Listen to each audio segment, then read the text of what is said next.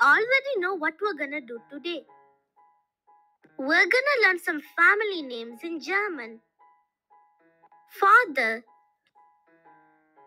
Vater, Mother, Mutter, Brother, Bruder, Sister, Schwester,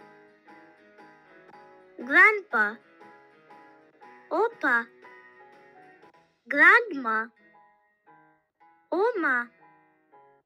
Thank you for watching my video. If you liked it, please give it a thumbs up and subscribe to my channel and also write in the comments if you learned something. And remember, keep learning, keep on learning. Bye!